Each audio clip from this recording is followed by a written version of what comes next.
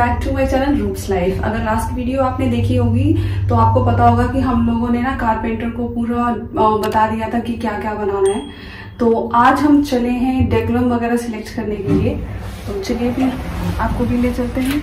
हाँ जी तो इससे पहले हम लोग पहुँच गए हैं साइट पे, क्योंकि यहाँ पर ना इलेक्ट्रिशियन भैया का कॉल आ गया था कि मैं आ गया हूँ तो हम लोग सीधा पहले डायरेक्ट साइट पे ही आ गए हैं। तो यहाँ पर कारपेंटर भैया जो है, उन्हें बता रहे हैं कि कहाँ कहाँ पर जो है इलेक्ट्रिकल पॉइंट्स उनको निकालने हैं, जैसे कि ये ड्रेसिंग टेबल है, इसमें कुछ लाइट्स हमें चाहिए। बाकी इसके अलावा ये जो छोटा वाला रूम है, यहाँ पर भी एक टीवी यूनिट प्लान किया हुआ है। तो यहाँ पर भी जो है कुछ पॉइंट्स देने लाइट वगैरह के। तो दोनों ने आपस में सारी बात क्लियर कर ली है तो बाद में जो है प्रॉब्लम नहीं होती है वायरिंग वगैरह निकालने की तो ये बहुत अच्छा रहता है। उसके अलावा यहाँ पर है जी हमारा वॉश बेशन टेबल टॉप जो हॉल में लगने वाला है, इसके लिए भी जो है हमें ग्रेनाइट जो है कटवा के लाना है तो वो मेज़रमेंट भी लेना था तो इसलिए हम पहले यहाँ पर आ गए। हाँ जी तो हम लोग पहुँच गए हैं शॉप पे और आज हम यहाँ पर लेमिनेट की जो शीट है, उसका कलर जो है वो फाइनल करेंगे।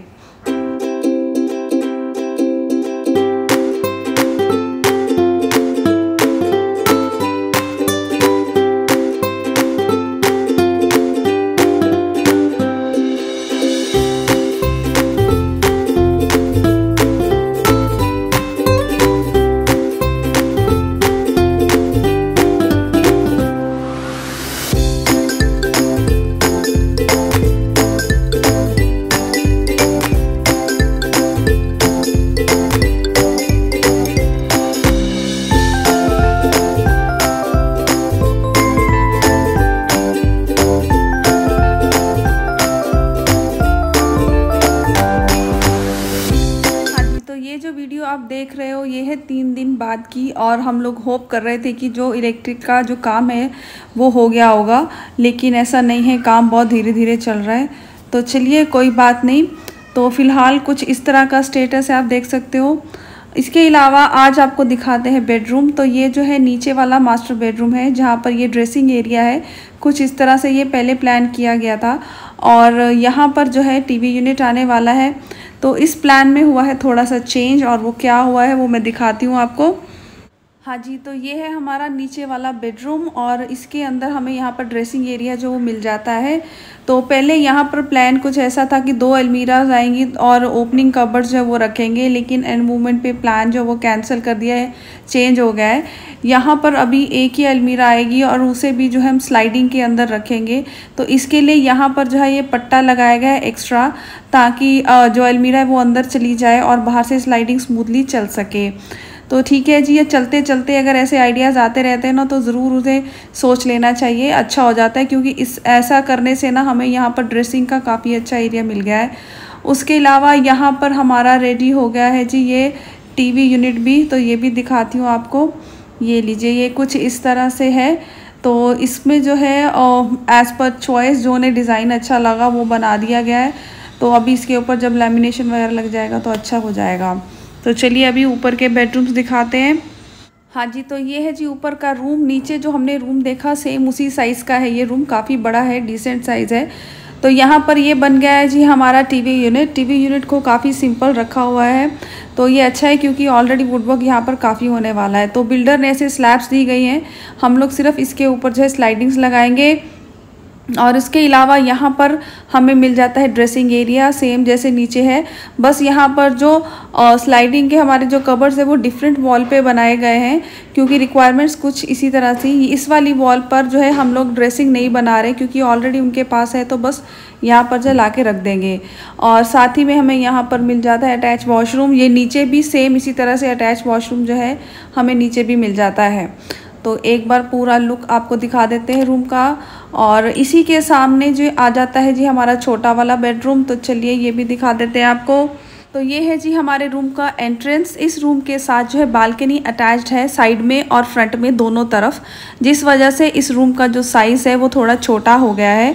तो एक बार मैं यहाँ पर से दिखाती हूँ आपको। मैं इस वक्त ड्रेसिंग के सामने खड़ी हूँ। देखिए, यहाँ पर एक डोर ये एंटर होने का है और दूसरा जो साइड में है ये बाहर की तरफ़ है ठीक है जी?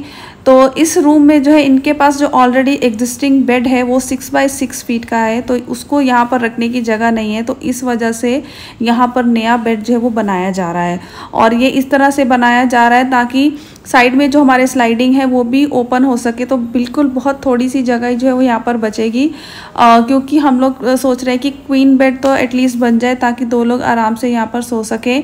इसके अलावा यहाँ पर बैक साइड में ये पिलर भी है। जिस वजह से थोड़ी सी और जगह हमारी वेस्ट हो रही है तो भैया जी को बोला है कारपेंटर जी को, कि कुछ पैकिंग वगैरह दे दीजिए ताकि जो एक सिमिट्री बन जाए और यहाँ पर जो स्लाइडिंग खोलने के लिए भी इनफ जगह हो जाए कि आराम से खड़े होके हम अपना कबर जो है वो ऑपरेट कर सके।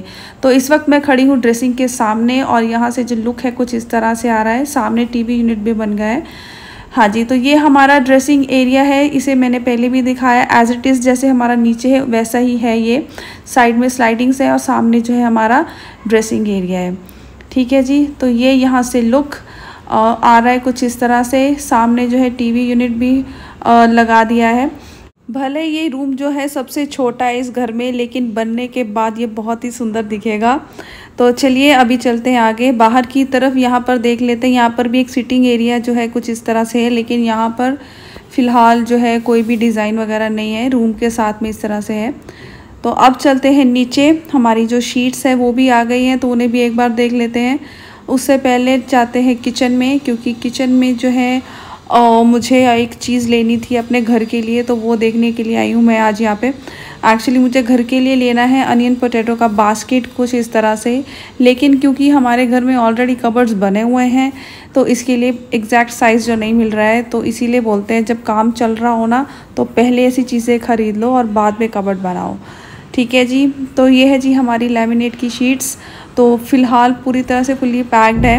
ऊपर से कवर्स भी चढ़े हुए पता तो नहीं चलेगा। खैर, मैं बता देती हूँ, हम लोग यहाँ पर इस घर में वाइट जो थीम है, वो फॉलो करेंगे और उसके साथ कुछ मिक्स एंड मैच कलर्स जो है, हम लेके आए हैं। ठीक है जी तो ये थी हमारी आज की वीडियो आई होप कि आपको वीडियो अच्छी लगी होगी। वीडियो अच्छी लगी तो इसे लाइक एंड शेयर करना मत भूलिएगा और हमारे चैनल को सब्सक्राइब ज़रूर कर दीजिएगा। तो मिलते हैं नेक्स्ट वीडियो में। Chill then bye bye